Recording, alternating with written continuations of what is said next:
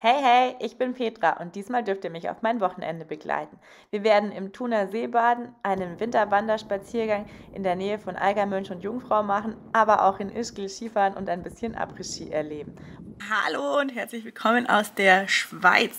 Heute gibt es eine Skitour in wunderschönster Region, aber zuerst schaut euch mal diesen Schneefall an.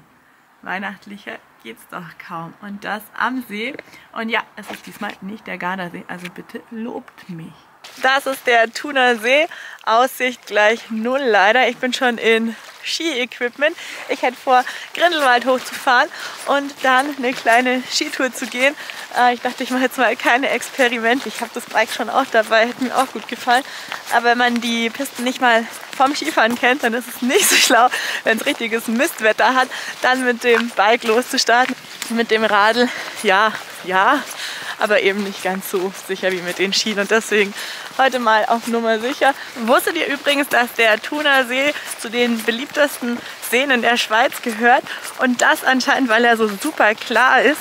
Also ich hatte ja keine Ahnung, um ehrlich zu sein. Ich habe das immer so ein bisschen mit Eiger, Mönch und Jungfrau natürlich in Verbindung gebracht. Aber das Wasser ist wirklich extrem klar. Also da scheint was dran zu sein. Ja, was soll ich sagen? Leider hat es nicht gerade die beste Sicht, aber es schneit dafür so richtig winterlich und die Straßen sind arschglatt. Äh, ich bin schon ganz schön gerutscht gerade. Da merkt man, dass Winter in der Schweiz halt doch was anderes ist. Wir dürfen hier wirklich im absoluten Winter Wonderland unterwegs sein. Schaut mal.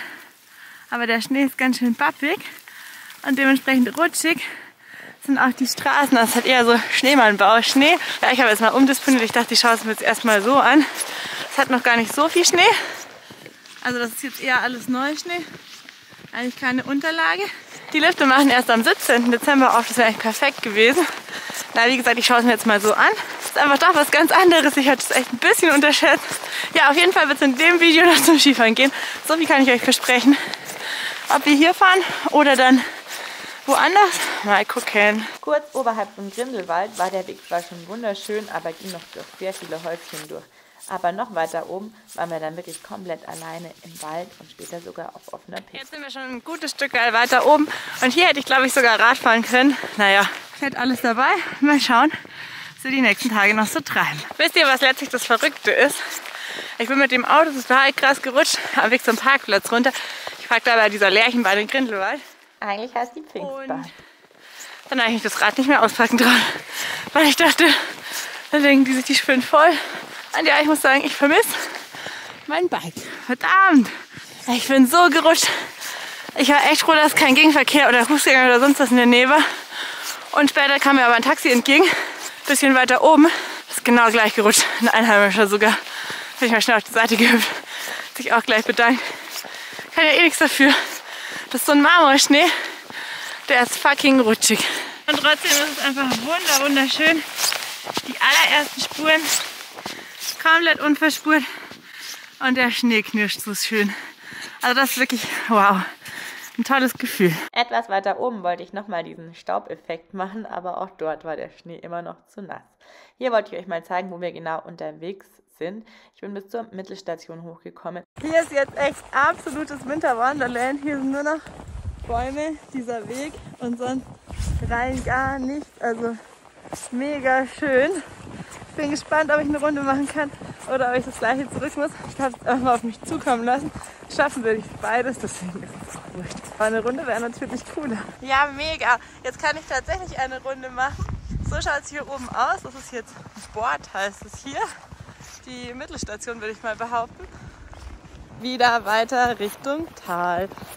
Ich hätte ja noch weiter hoch muss ich gestehen, aber irgendwann ist genug zu Fuß, weil sonst wird es dunkel. Ich muss ja genauso lang wieder runter wie rauf. Hier sind jetzt echt nur noch ein paar Hütchen. Keine Menschenseele und viel Schneefall. Und dann bin ich auch wieder gut am Auto angekommen. Hier seht ihr mal, was alles drin ist meine Angst wegen dem Rauskommen, also dieses Hochkommen war nicht ganz unbegründet. Das, was ich euch gezeigt habe, ging noch ganz easy, aber danach wurde es dann noch rutschiger irgendwie. Ähm, dann muss ich tatsächlich rückwärts rauf. Es hat voll geraucht und ähm, das ist witzig, weil die Leute einen dann so entsetzt anschauen, aber glaube ich trotzdem hoffen, dass man hochkommt, dass sie ja nicht helfen müssen. Hat dann auch geklappt. Also, aber ja, war trotzdem knapp, war sogar rückwärts knapp. Ähm, Aber es hätte noch ein, zwei andere Optionen gegeben. Ich hätte schon noch probieren können mit ein bisschen Schwung und also ich hatte dann gar nicht so viel Schiss. Also ich hatte die ganze Zeit Schiss beim Hochgehen so ein bisschen im Hinterkopf, aber war dann weniger schlimm als gedacht, zum. Am nächsten Tag habe ich es mir dann nicht nehmen lassen und noch schnell ein Eisbad im Thuner See zu nehmen. Ich habe da fleißig erzählt und geredet und gemacht. Nur leider habe ich auf Slow-Mo-Aufnahme gefilmt, deshalb gibt es keinen Ton. Naja, jedenfalls war der Weg in den See ultra rutschig und dementsprechend hätte es mich fast schon auf die Schnauze gelassen. Da seht ihr es. Und in dem Moment habe ich euch aber eigentlich gerade erzählt, dass ich die Kamera nicht versenken darf, weil ich nicht mit der GoPro reingegangen bin, sondern mit der Vlogging Cam. Da hinten lag übrigens Schnee und wenn man ganz genau schaut, dann sieht man auch, dass kleine Schneeflöckchen gefallen sind. Der See war deutlich kälter als der Gardasee, mit dem ich letztes Jahr mit dem Eisbaden gestartet hatte, aber es hat sich richtig gut angefühlt. Und also ich kann nur sagen, wenn man gesund ist, ist das absolut machbar. Für mich ist es wirklich kein Thema. Natürlich bin ich aber auch schon öfter in kalten Gewässern, auch im Sommer über. Ich mag tatsächlich auch diese Erfrischung im Sommer sehr gerne. Und im Winter kommt mir vor, dass die Überwindung gar nicht ganz so groß ist, weil es ja draußen eh schon so kalt ist, dass man eh schon friert. Dann kann man auch noch schnell in den See reingehen. Und danach, also schon wenn man rausgeht, ist einfach unbeschreiblich. Da durchströmt den ganzen Körper einfach nur Wärme und Energiegefühl und man fühlt sich so richtig frisch und frei. Dreimal dürft ihr raten, wer schon wieder am Pass im Schnee gelandet ist. Yes, ich. Aber bis jetzt geht's ganz gut.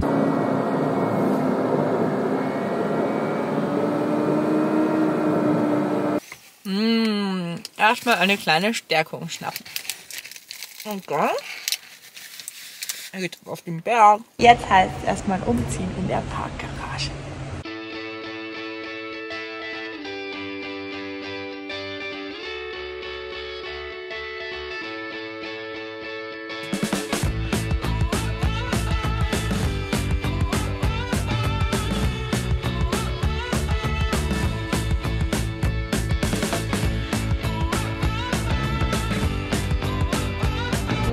Weiß schon, wo wir sind. Einige der modernen großen Skigebiete haben ja mittlerweile diese endlosen Rolltreppen. Das hier auch.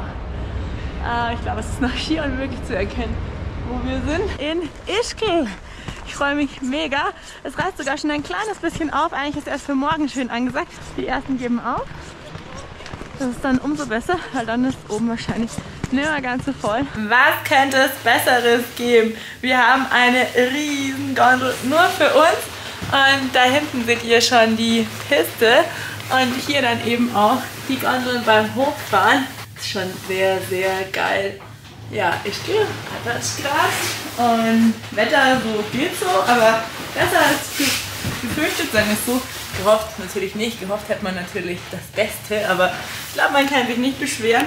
Ja, so eine leere Gondel bietet natürlich auch viele Möglichkeiten. Was würdet ihr jetzt machen? ich bin schon mal für den Abschied. Und übrigens, es fahren aber schon noch einige Leute. Vor mir sind welche drin und hinter mir auch. Ich hatte also Glück. Hier, was ich sehe, ist schon auch richtig schön. So viel Schnee hat es allerdings noch nicht, obwohl es jetzt ja ganz schön viel geschneit hat. Und ich freue mich jetzt aber einfach auf richtig geile Abfahrten, weil alleine diese Patatsch Abfahrt, die ist halt 1200 Höhenmeter lang. Oben sind wir, Ski sind auch schon an. Und wie Sie sehen, sehen Sie nichts. Aber wurscht. Ich freue mich einfach. Was gibt's Besseres als nichts los, Berg, Schnee, ein bisschen Neuschnee zumindest. Geil. Einfach nur geil. Und ja, ihr könnt die Skispitzen anschauen, weil wenn ich euch normal hinziehe, seht ihr auch nicht mehr. Wisst ihr, was ich meine? Äh, es hat dieses absolute Überlebenstrainingswetter, wenn die Brille so festfriert. Kennt ihr das? Also wenn quasi oben so ein Niederschlag ist, dann ist der Wind so kühl, dass es trotzdem friert. Seht ihr meine Haare? Ah, was für ein Scheiß. Mit frisch geputzter Brille sieht die Welt schon wieder viel besser aus. Jetzt kann es wirklich weitergehen. Zum Glück war es nur oben so richtig wolkenverhangen. Und wenn man dann nicht ganz drauf gefahren ist zum Patatschgrad, sondern nur zur Id-Alpe, also mit der anderen Gondel, dann konnte man dem Nebel auch ganz gut entkommen. Die Abfahrt war wirklich super schön und ja, ich glaube, es haben wirklich schon einige aufgegeben, was natürlich umso toller war, weil den ganzen Nachmittag über so gut wie niemand im Weg war und man einfach nur frei fahren konnte. Und was gibt es Schöneres als befreites Skifahren, ohne dass so viele Leute um einen rumschweben? Naja, das wird dann zu Weihnachten eh wieder lang genug der Fall sein. Seht ihr, da war mal einer. Aber ansonsten war es echt mega, mega frei und gut und schön. Ich habe beschlossen, ich bleibe jetzt doch noch eine Nacht in Ischgl und hier bin ich untergekommen. Voll super. Es ist ja noch nicht so richtig Hauptsaison. Dementsprechend ging das jetzt echt super einfach und spontan, was natürlich umso besser ist. Zimmerchen finde ich echt klasse. Mein Tipp wäre, nicht direkt über Booking zu buchen. Ich bin einfach hingefahren. Dann gibt es das nämlich meistens günstiger wie der Bookingpreis, weil Booking ja sonst auch mit verdient. Spitze. Also echt klasse. Ähm, vor allem ist es ja eh nur eine Nacht, aber mir gefällt es bisher richtig gut. Und ich habe sogar einen fetten Balkon mit genialer Aussicht. Aber gut, es ist arschkalt. Also draußen hinsetzen werde ich mich vermutlich eher nicht. Yay, weiter geht's zum Après-Ski. Das sieht schon mal mega schön aus hier. Und auch die ganze Straße war so schön beleuchtet schon beim Hinterfahren. Schaut mal. Und dann sind wir auch tatsächlich angekommen beim Après-Ski. Das ist in der Trofana Alm mein absolutes Highlight für Ischgl Après-Ski.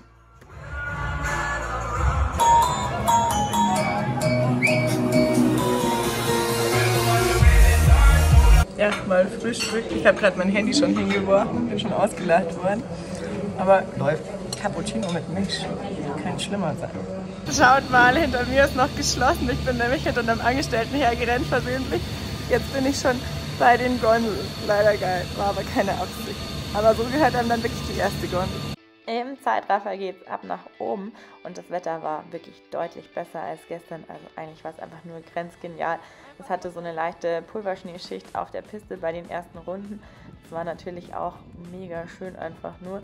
Und klar, es ist nicht so wie richtiges Tiefschneefahren, aber es gibt schon so ein bisschen das Gefühl von Tiefschneefahren. Und auch wenn es nur für die ersten ein, zwei Runden ist, es war toll. Und danach ging es dann so richtig in die Sonne, was natürlich auch richtig grenzgenial ist. Aber dafür war es echt, echt arschkalt. Ja klar, klare Nacht, klarer Himmel heißt immer kalter Tag. Jetzt kann man sich überlegen, was einem lieber ist.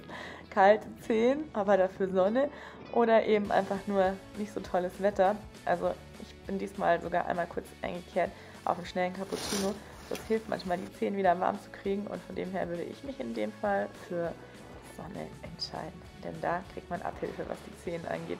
Und so wie das Wetter gestern war, mit der schlechten Sicht, wenn es richtig geilen Powder hat, dann sehe ich das ein. Aber ansonsten, wenn es so richtig gefriert auf der Piste, für mich schon fast alles Helden, die den ganzen Tag durchgehalten haben.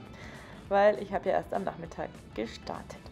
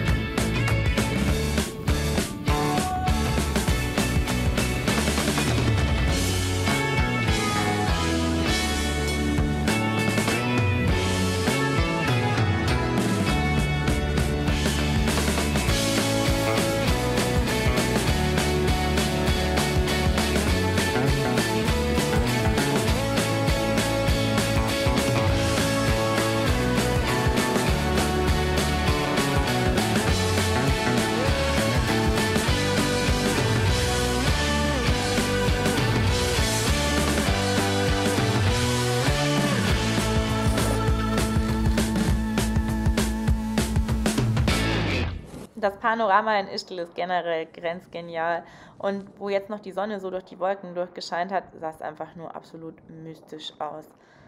Also unbeschreiblich, wie schön das dann sein kann.